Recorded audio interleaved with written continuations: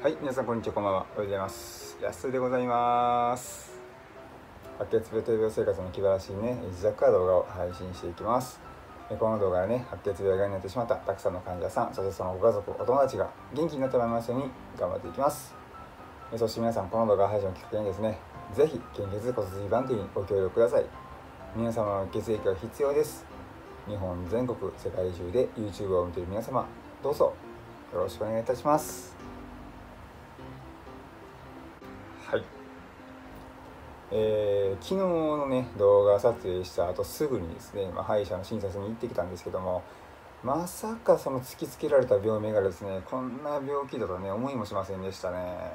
まショック、まあ、ショックとかまあね、まあ、僕はね一回白血病してるんでね、まあ、あの苦しみをこう耐え忍んだというか、まあ、耐えも忍んでもないですけどなかったですけど、まあね、我慢できずにこう叫び倒して泣き叫んでみたりした時もねありましたけどもね、まあ、なのでねそんな経験をしてるんでもう何が来てもどんな壁が僕の前に立ちはばかろうとしてもですね、まあ、何の病気でもね最終的にはね覚悟できる心になってるんで、まあ、そんなここ、ね、心理状態でね診察に挑んだわけなんですよ、まあ、昨日の僕のね予約はですね、ま予約の時間帯っていうのはその10時台で予約だったんでもちろんその10時になる前にね受付を済ませているんですけどもまあその朝の早い時間帯やったからしてねそのなんていうんですか待合にねその患者さんがねすごい人がね待ってはったんですよ。でそんな患者さんの中に混じって、まあ僕もねそのまあ雨の中その車内で撮影したねその動画をねこう編集しながらね15分から20分ぐらい待ってたんですかね。で思いのほかねまあ比較的すぐにね名前を呼ばれてね、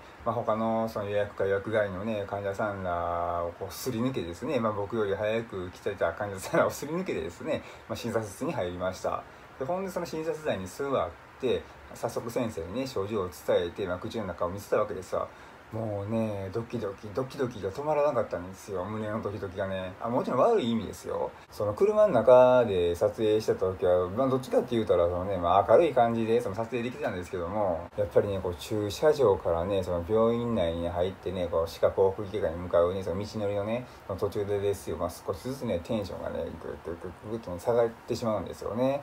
まあ、こんな症状初めてやったしね、まあ、昨日の動画を見てくれてる人たちはもうご存知でしょうけども、まあ、僕は今ね口の中のベロの下にねこう謎の柔らかい突起物がねできてますからね。こんなん初めてですわほんまに。あのまあ、例えるならその人参ポン菓子のね粒のようなねチョコクリスピーのようなね粒の大きさのね、まあ、突起物なんですけどもねそれができてるわけですよ。見知らぬものがね突起物がねできてるわけなんですよ。ほんまに先ほども言いましたけどこんなんできたの初めてやしもし先生にね見せてね先生の顔が曇ってしまって席を外されてねこうちょっと周りがざわざわざわざわってざわついたらねどうしようかなとかねなんかもうその修行ですとか言われたりとか陽性ですとか言われたらどうしようかなとかもすごいね変なことをめっちゃ怖いことをね考えるわけですよ。まあね、たとえね、何があっても何と言われようがですね、まあ、受け入れる心の気持ちの持ち主になってしまってますけども、やっぱり言われる瞬間、その瞬間までには、ま、どっちが、どっちに転ぶかわからないわけですよ。でほんで、早速座ってね、症状をこう伝えて、口を開けて、ベロの、ベロをね、こう上顎にペタッとつけて、ベロの下というかね、その裏側をね、見せたらね、先生が言うんですよ。ああ、これはね、農法ですね、っておっしゃったんですね。でまあ僕はねそ聞いたことない言葉を聞かされてね「は?」ってなったんですよまあね口開けたまんまやから心の中で「は?」って言ったんですけどもほんで先生が続けてねこれはね粘液農法ですねよだれというかその唾液腺がここでそのこの唾液腺につながってるパイプの通りが悪くてうまく唾液がね出てこない状態で詰まってるんですわ。ほんでねそのたまたまパイプが傷ついてというか、まあ、そのパイプがパイプ漏れを起こしてる感じなんです。でパイプが水漏れしてる感じなんですよね。その唾液腺のパイプのね外側にもね細胞があるんでそこで袋ができてしまってそこに溜まってる状態です。って言われたんですよ。もうねホッとしましたわほんまに。だってやっぱいろいろ怖いことと考えるわけじゃないですか。やっぱりねその粘膜障害僕ね今持ってるんで、まあ、それのせいでこう唾液が出てくると唾液腺っていうのが詰まってるのも原因かもしれませんし、まあ、粘膜障害でそもそものその唾液腺というかそのパイプにね単純にこの、影響があったのかもしれませんしさまざ、まな原因が考えられるんですけどもまあでも大したことなくてねほんまに良かったですわ。ほんでね、まあ、その治療法としてはですねこの切り取ってあげるんですって。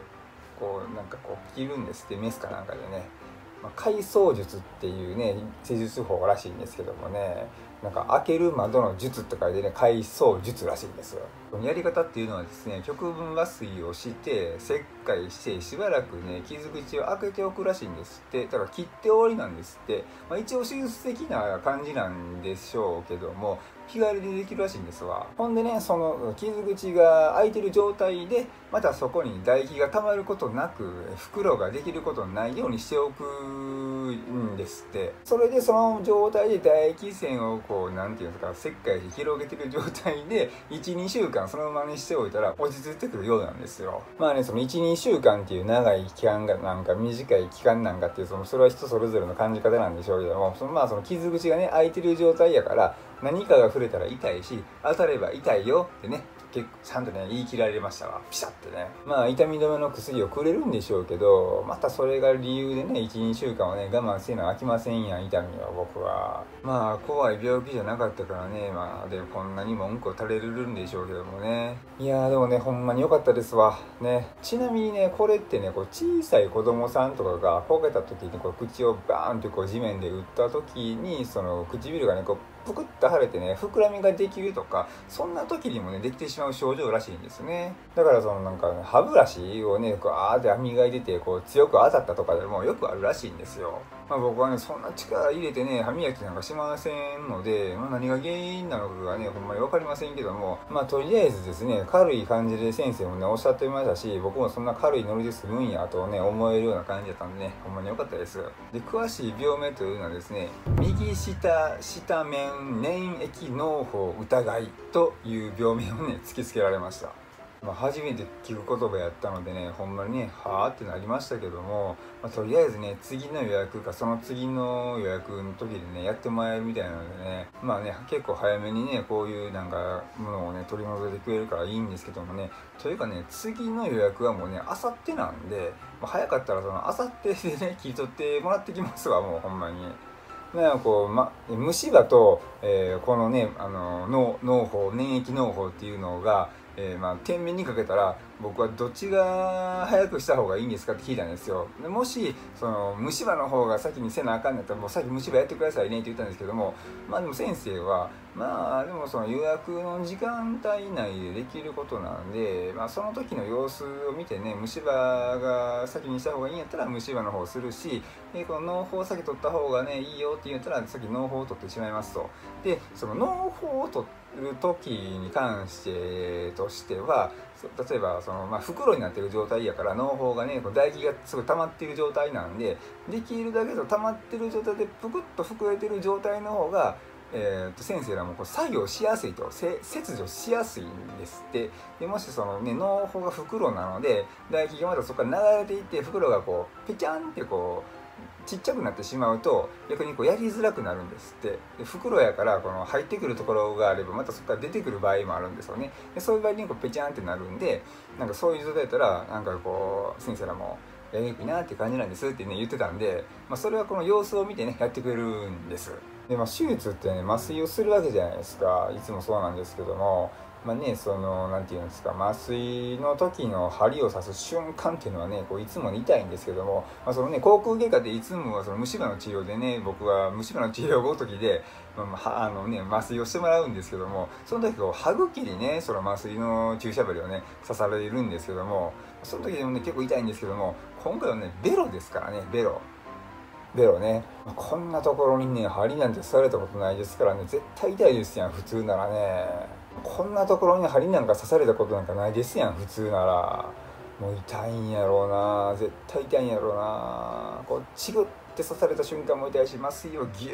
ってこう流し込まれる時にブワーってこう入ってくる瞬間とかも結構ね痛いんですよ。歯茎でも痛いんですよ。僕痛がりなんでね。だからそれがねベロに来たっていうことを考えるとねあのなんかもうこうわ痛いわって恐怖にね駆り立たれるんですけどもまあでもねちょっとねその心の準備がをねできるかどうか分からへんけども、まあ、それなりにね今から覚悟をね決めるね練習をねしておきますまあ、そんな感じでですね今日はね怖い怖いと思ってたけど実は怖くも何ともなかったよっていうお話でございました。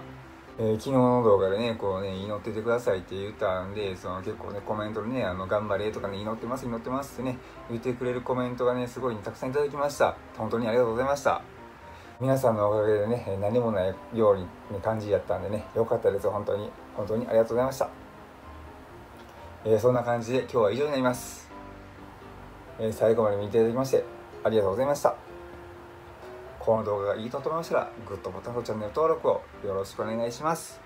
そしてね、この動画、このチャンネルがよりたくさんの方々に届きますことを願っております。本日もご視聴ありがとうございました。バイバイ。僕は元気です。